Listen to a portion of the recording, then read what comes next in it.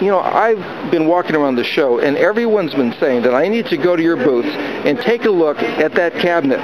Okay. What can you tell me about that cabinet? This is made by Berkey and Gay. It's, it's made by who? Berkey and Gay. Would you spell that, please? I sure can. Okay, we're going to get the spelling of of um.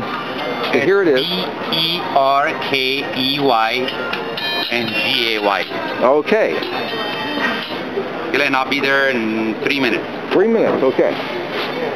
That's a subtle Okay, way I'll to be tell right me there in three minutes. to tell me to hurry up. I Yeah. Thank you. I've got No, that all my no, life. No, no, I can, So- just go uh, pass him a pass and I can come back. Okay. Well, just tell me how how much do you want for it, and how old is it? It's around 1915. Uh huh. 12 pieces for 32,500. Twelve pieces. Can you just point the pieces? Yeah, uh, the set of eight chairs, the sideboard right there, Uh huh.